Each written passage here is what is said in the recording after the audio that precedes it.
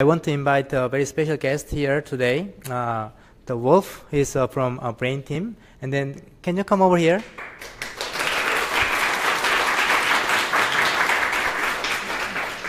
so he is uh, from Google Brain Team. Can you?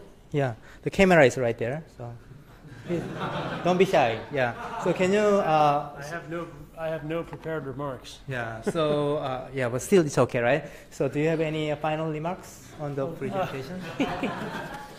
Uh, no, it was, uh, it was uh, inspiring to see everybody uh, present all their work they've been doing, and the fact that uh, uh, we were.